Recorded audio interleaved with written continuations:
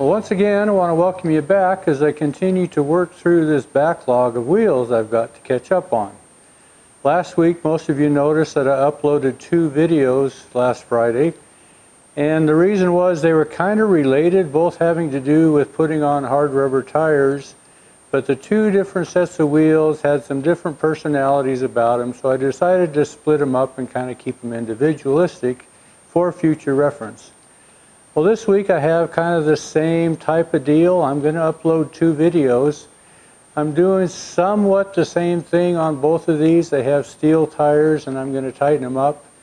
But both sets of wheels have a little different personality about them and a couple different things kind of show up. So I'm going to leave them as two distinct different videos for future reference.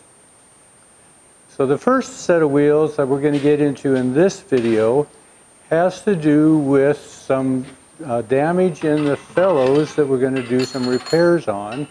And then we're going to set the tires again and tighten these loose wheels up.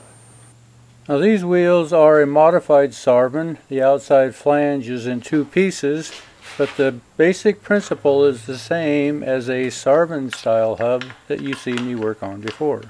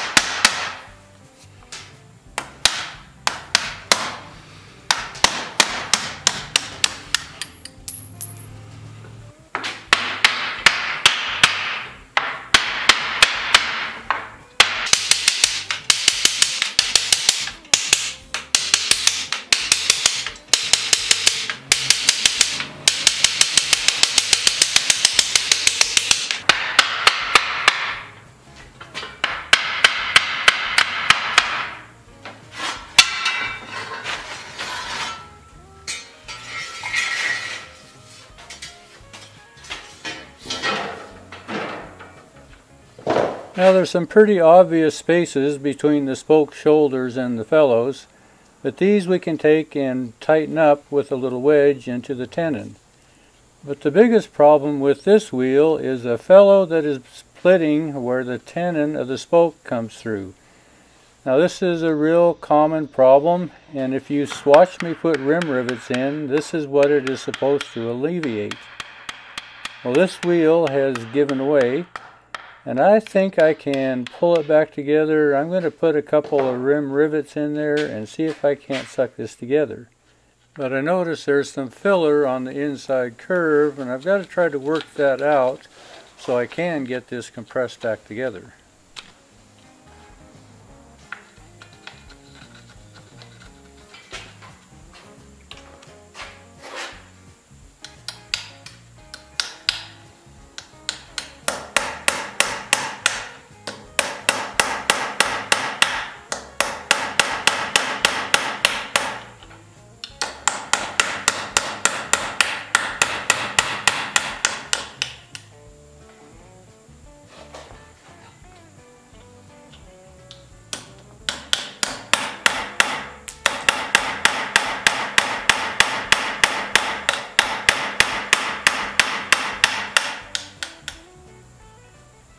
As it turns out, somebody's put some auto body filler in this split, trying to disguise the crack, but it really didn't get it repaired. So now I've got it kind of cleaned out, I think we can draw it together and make a little better repair and salvage this felloe.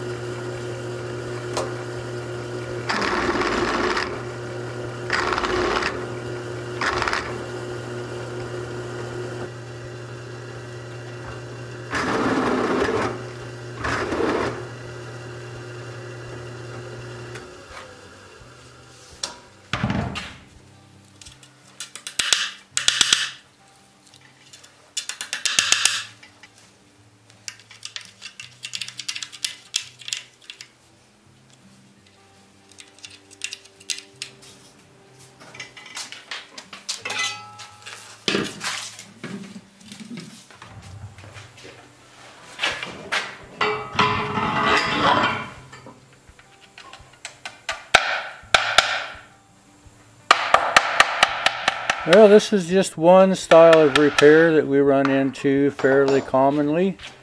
Where, this, where the tenon goes through the felloe, it basically cuts the felloe in half, and it can kind of cause these bulges to where they finally give away. But I think we'll have a good pair of wheels here. So once again, thanks for watching.